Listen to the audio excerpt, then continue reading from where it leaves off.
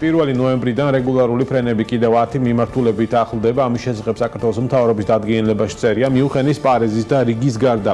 რეგულარული ფრენები დაინიშნება თბილისიდან დოჰას, ვარშავის, ათენის, ამსტერდამის, ვენის, ბერლინის და მილანის მიმართულებით, ხოლო ქუთაისიდან კატოვიცეს, დორტმუნდის და ვილნიუსის მიმართულებით. 1 ნოემბრიდანვე საქართველოში შემოსული მგზავრები PCR ტესტის წარდგენის სანაცვლოდ სავალდებულო каранტინს აღარ გაევლიან, ისინი თვითიზოლაციაში უნდა გადავიდნენ. BMG-ს კითხვებს ამ თემაზე დღეს ეკონომიკის მინისტრმა უპასუხა უფრო მეც თელარა გელანტია გვეტყვის თელარა გამარჯობა.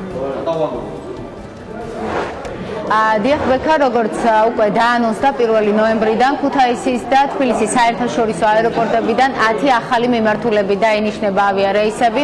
ჩვენ ნათია თურნავასთან ამ საკითხზე ორი დეტალის დაზუსტება შევეცადეთ. პირველი გვაინტერესებდა რა წესების დაცვით მიიღებს საქართველოს ამ ქალაქებიდან უცხო ქვეყნის მოქალაქეებს, ანუ მათ მოუწევთ 8 დღიანი каранტინის გავლა თუ საკმარისი იქნება PCR ტესტის წარდგენა, რაზეც მინისტრმა კონკრეტული პასუხი ვერ გაგვცა, მან გითხრა, რომ ეს ორ ქვეყანას შორის მოლაპარაკების გზით გადაწყდება.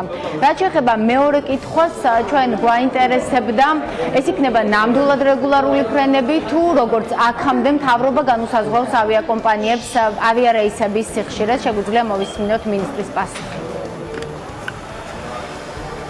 ეს იქნება რეგულარული, ნამდვილად რეგულარული, ეს არის რეგულარული ფრენა, რეგულარული ფრენა განსხვავდება ჩარტერული ფრენისგან, სწორედ იმით, რომ ჩარტერული ფრენაში მეტი მოხილობა აქვს თავრობას და თითოეულ ასეთ ფრენაში ჩვენ წინასწარ გვისახავს კომპანია, რაც შეეხება რეგულარულს, ერთხელ თახდება ამ თვის განმავლობაში და ისინი შემდეგ უკვე თავისუფლად ყიდიან ბილეთებს. ეს არის რეგულარული ფრენები. თუმცა კლავაც დარჩება ჩარტერული ფრენები, ეს არის საშუალო ჩვენს მიერ დაანონსებული 28-30-მდე სიხშირე კვირაში.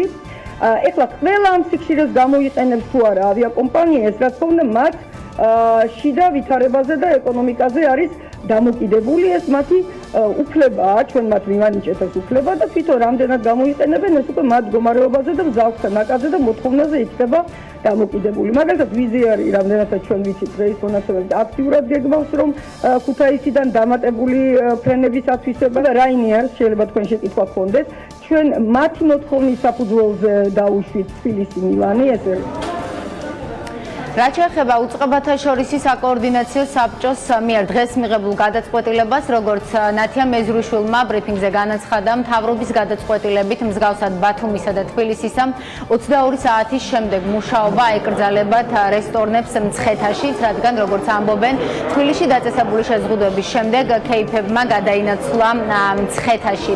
ჩვენ ვრჩებით მთავრობის ადმინისტრაციაში, რადგან 2 საათზე პრემიერი ხვდება ბიზნესის წარმომადგენლებს, უკვე საქმის კურსის შემდეგ გადაცემაში მოგიყვებით რა იზეისაუბრეს კერძო სექტორთან ერთად პრემიერმა და მთავრობის წარმომადგენლებმა ბექა?